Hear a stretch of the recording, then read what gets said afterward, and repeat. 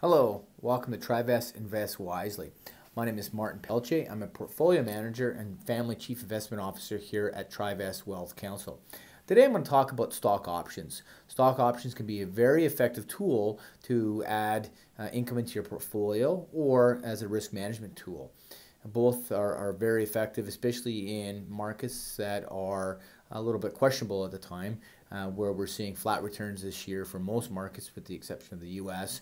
Um, this could be a good tool to boost uh, some returns without onboarding a, uh, and a whole bunch of, of new risk here. So there's two different ways of I'll talk walk you through today of adding some income into your portfolio using options. One is by selling uh, call options, and one is by selling put options.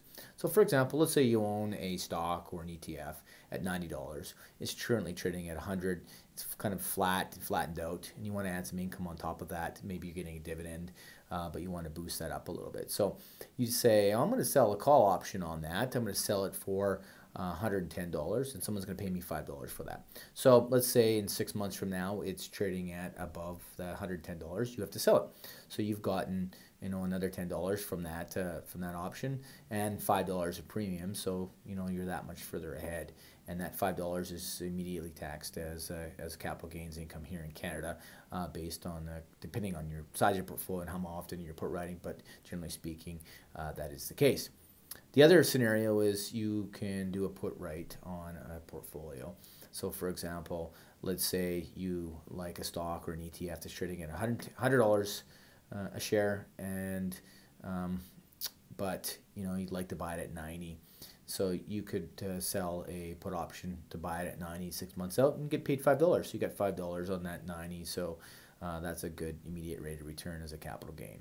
So there's two different ways of doing it. There's also uh, option buying and many different uh, types of strategies you can put together under under various fancy names that we don't I won't go into in detail today, but it can be a nice uh, risk management tool to protect some of the downside in addition to adding income, uh, tax efficient income into the portfolio. So it does play a role within a broader portfolio here for our clients. We can do that directly in their accounts or for those within our family office program, we'll do it through our risk managed balanced growth fund, where we're very active in the option side, and uh, through another manager that does also have some in-depth expertise within the um, option writing side of things in the market, both the U.S., Canada, and globally.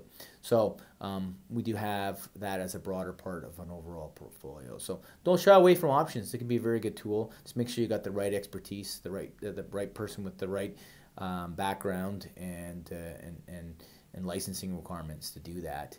Um, but uh, certainly worth having a look at within your um, within your broader portfolio. So there you go, option writing. Uh, invest, keep investing wisely. Thank you for tuning in. Take care.